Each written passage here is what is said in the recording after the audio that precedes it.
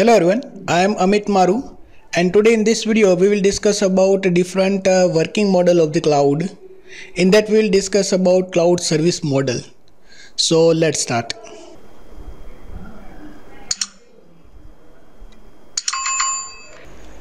First of all let us have outline of our today's video. In our today's video first we will discuss about working model of the cloud then we will discuss cloud service model and in cloud service model we'll discuss first the infrastructure as a service then we'll discuss about platform as a service then third we'll discuss about software as a service.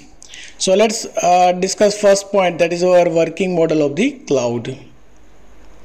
In a working model of the cloud uh, basically two kinds of model. One is a cloud service model and second one is cloud deployment model in a cloud service model, we will discuss about infrastructure as a service. It is also known as IaaS.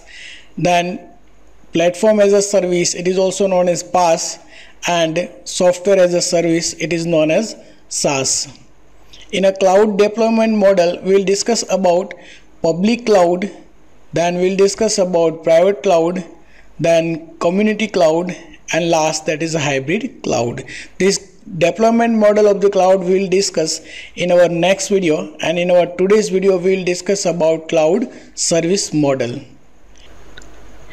Here the name cloud service model itself says that this model basically used to provide detailed idea about the various cloud services such as infrastructure as a service where the infrastructure is nothing but the storage server hardware and networking if you want to develop any software or application, then you must have one platform where we can develop and run our software. So cloud also provides platform as a service. And last, that is software as a service where your cloud provides full software and we can get any software, we can uh, use any software without installation in our personal computer.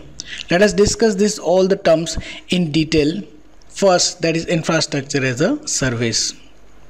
In infrastructure as a service, it is also known as hardware as a service. It is a computing infrastructure managed over the internet. The main advantage of using IaaS, that is a infrastructure as a service, is it helps user to avoid the cost and complexity of purchasing and managing the physical server. It means that if you don't want to purchase or if you don't want to make your own server then you can directly take server from the cloud also. Just take one real life example so that you can easily understand the infrastructure as a service.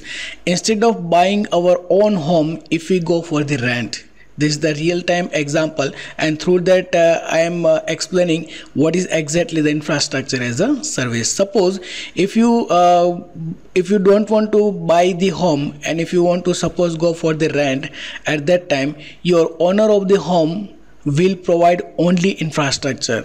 So owner of the home will provide suppose this infrastructure and as a tenant you have to manage rest of the thing such as sofa set, dining table, cupboard, beds, etc. So rest of the thing you have to manage, your owner will give just infrastructure. Same way in IaaS, cloud provider can give you the entire range of the computing infrastructure. For example, storage, where you can store something servers instead of making your own server you can get server from the cloud networking and hardware along with the maintenance and support. For example amazon web services that is aws provides this kind of uh, service that is infrastructure as a service. Microsoft azure google compute engine and DigitalOcean. These all are the different example uh, of the cloud which provides infrastructure as a service. Now next one is a platform as a service. Again the name itself says that the cloud provides platform. The platform basically used to develop any application or software and to run on the platform. So cloud provide this kind of platform where you can uh, make you can develop your application or software and you can run the software. So cloud provides development tools such as uh, editor debugger compiler. Using that we can develop our own software or application. Along with cloud provides programming languages such as java php ruby perl etc also provide application frameworks such as uh, node.js joomla wordpress spring play etc also provide databases such as ClearDB, PostgreSQL, MongoDB, Redis, etc. and provide operating system, database management and infrastructure. It means that if we go for the platform as a service at that time your cloud provides infrastructure as well as platform so that we can run we can make we can develop our own software or application and we can run on the platform given by the cloud now last software as a service with the SaaS, you do not need to install and run the software application on your computer.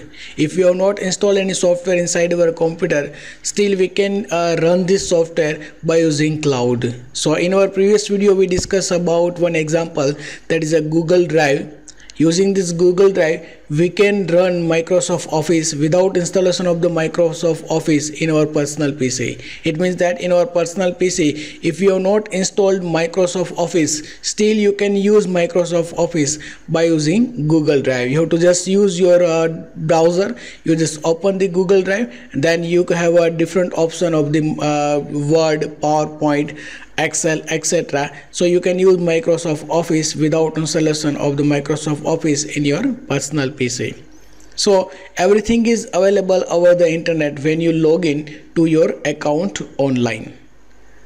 You can uh, usually access the software from any device anytime as long as there is an internet connection. You must have internet connection. You have to you have one your login and password. Using that you can access any software without installation of the software in your personal computer. So this is also very good uh, service uh, provided by the cloud.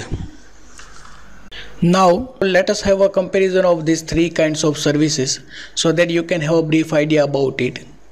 In our uh, infrastructure as a service your cloud provides infrastructure as a service and infrastructure includes networking storage servers and virtualization. This is the part of the infrastructure.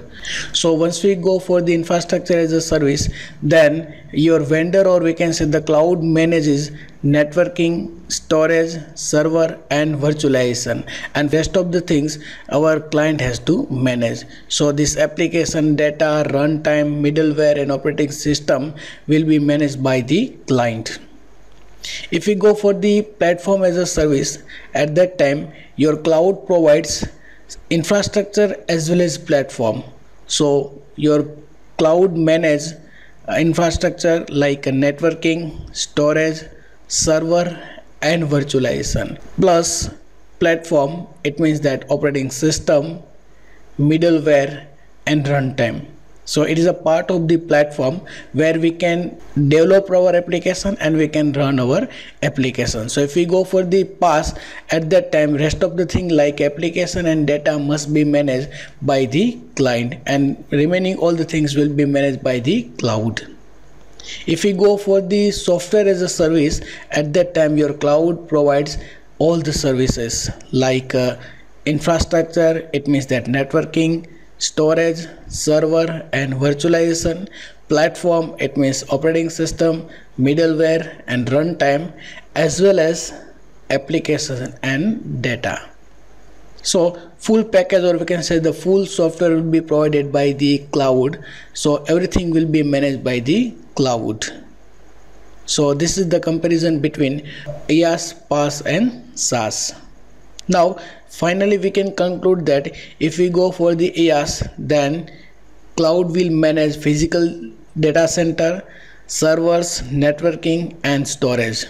If we go for the platform as a service then including this infrastructure plus your cloud managed operating system database management and development tools if we go for the software as a service then your cloud provides full software and everything will be managed by the cloud. So this is all about cloud service model. I hope this uh, video will be useful to understand cloud service model. So thank you. Thank you for watching this video. Thank you again